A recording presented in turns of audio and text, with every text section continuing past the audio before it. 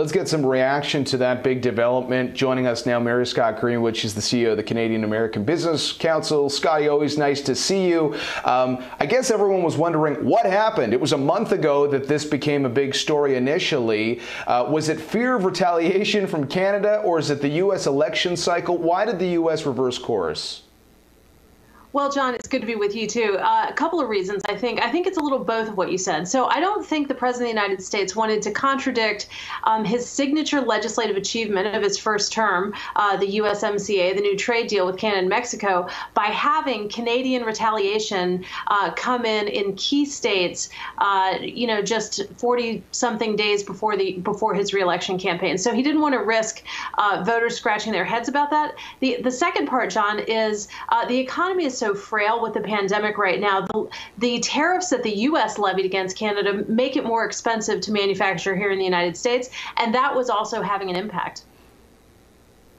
It's, it's interesting. Um, do you think then we are going to hear a lot more? We're just starting to hear um, campaign, real campaign trail comments from the president. I mean, he did sort of that town hall thing with ABC last night. Do you think he's going to be talking about the trade deal. Can he point to that in these next few weeks as, as an accomplishment that voters might, that might resonate with voters?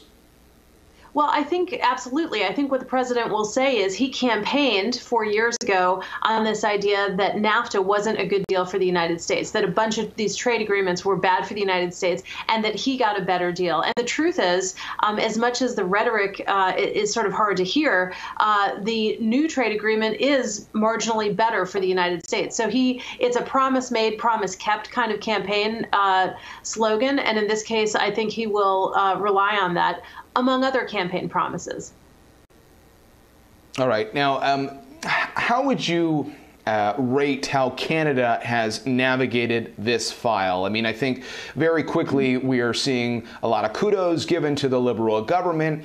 Um, how much of that is just, to your earlier point, how the president feels about what uh, resonates with voters right now versus actually how Canada navigated through this uh, this situation?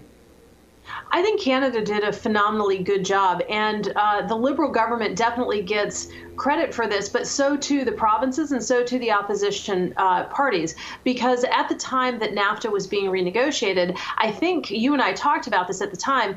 Canada viewed this, the government officials viewed it, regardless of party, uh, regardless of jurisdiction, mayors, premiers uh, and federal elected officials as an existential threat to Canada's economy. And so they treated it accordingly. And with the leadership of, uh, of, of, the Trudeau government, Minister Freeland, and you know the, the famous war room that Brian Clow ran, uh, you saw a whole of Canada effort. And it wasn't just Washington, it was also into uh, key states and uh, with key players throughout the United States. And that for sure is bearing fruit. And that's the kind of effort, John, that is going to have to be sustained going forward, whether it's a reelected uh, President Trump or it's a, a, newly elected Joe Biden. You know, there's an awful lot of Buy America in the Joe Biden platform that is something that uh, we'll have to look at should uh, should the election go that way.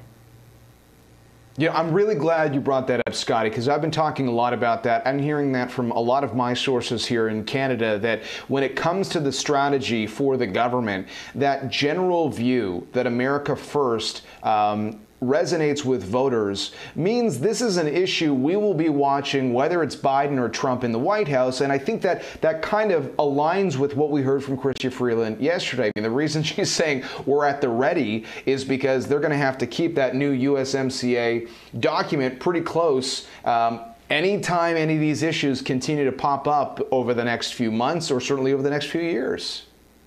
That's right. You in a Biden administration, you wouldn't see uh, tariffs levied the way the president, the, the, way Trump uses them as kind of a as kind of a threat or a hammer. But I think you will see, or we know you would see, um, this tendency towards reshoring. And the challenge for, for will be um, when you think about Buy America or you think about reshoring into America. Do you mean North America or just the United States? And so that's a tendency, by the way, that is not just unique to the United States, but it's something um, that we're seeing around the world in the wake of the pandemic. And it's something that Canada and the United States have to work on together in our judgment.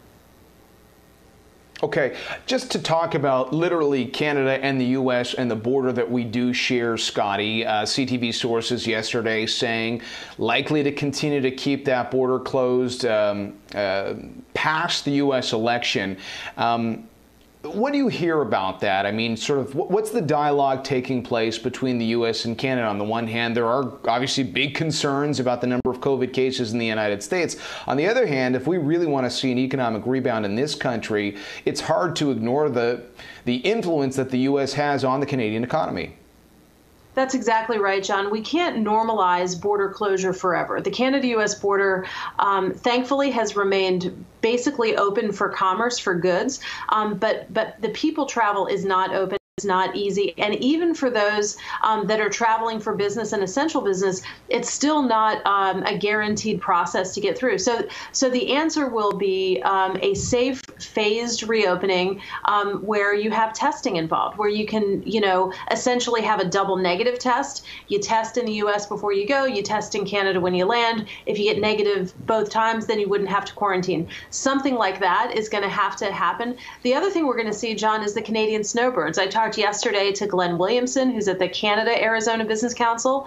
Uh, and, you know, there are an awful lot of Canadians that go to Phoenix uh, for the winter uh, and have property down there. Uh, sa- same is true in Florida and in South Carolina. So we're going to have to figure out a way for people to um, resume in a safe way, uh, resume their normal activities and go back and forth to do business, to visit family, to go to their property, uh, whatever the case may be. That's going to be very important. No doubt. Hey, Scotty, thanks a lot. Really appreciate your time as always. Good to be with you, John. Thanks for having That's, me. Uh, Mary, yeah, Maryscott Greenwood, CEO of the Canadian American Business Council, joining